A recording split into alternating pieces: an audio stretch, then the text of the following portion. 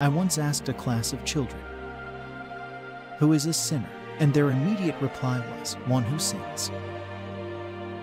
Yes, one who sins is a sinner, but the fact that he sins is merely the evidence that he is already a sinner, it is not the cause.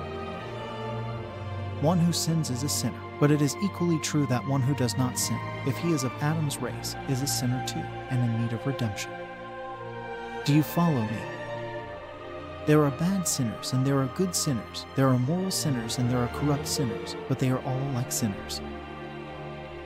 We sometimes think that if only we had not done certain things, all would be well. But the trouble lies far deeper than in what we do, it lies in what we are.